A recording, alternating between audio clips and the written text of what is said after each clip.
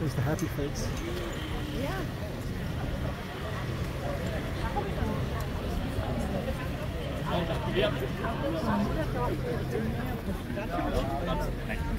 Okay.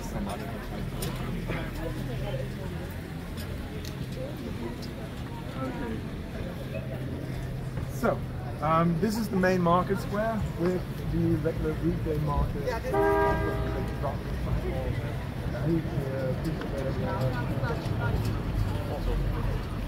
Um, and yeah, beautiful fountain. You can see that. And the dribbles. Yeah, sneak, sneak by. and you can see that gentleman turning that golden ring. Okay, I'll have to explain. The story behind that ring goes like this.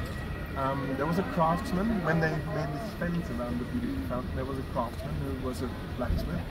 And he had a beautiful daughter and a young apprentice. And you'll never guess what happened with these two young people. Never. They fell in love Oh, no. and they wanted to marry and and the father said no. No, he's a crappy craftsman. He will never be a good master. He's not worthy of my daughter.